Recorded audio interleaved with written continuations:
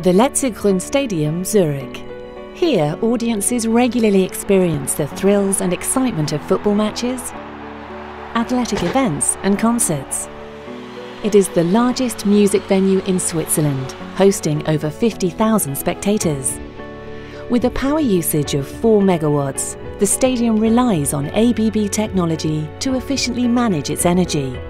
Power is generated from stations such as the hydroelectric plant in the Swiss canton of Glarus. It is transmitted along high voltage power lines into substations, where it is transformed and fed into the low voltage network in Zurich, before being distributed via transformer stations.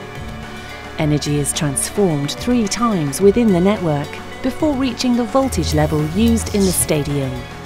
ABB switchgear ensures equipment such as floodlights and display screens receive enough power. In addition, ABB's UPS systems provide reliable backup power across the stadium.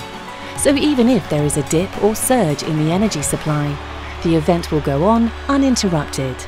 As well as power distribution, the Letzigrund Stadium uses an ABB KNX control system. This system has many uses, including regulating room temperatures and automatically controlling lighting, doors and blinds. ABB not only helps to power exciting events in the Letzigrund Stadium, but also in Basel, Bern and St. Gallen in Switzerland, as well as leading venues all over the world. Across these venues, ABB installs, integrates and automates electrical, ventilation and data systems, ensuring that electrical energy is available wherever it's needed, whether to display the current score or to keep the floodlights shining.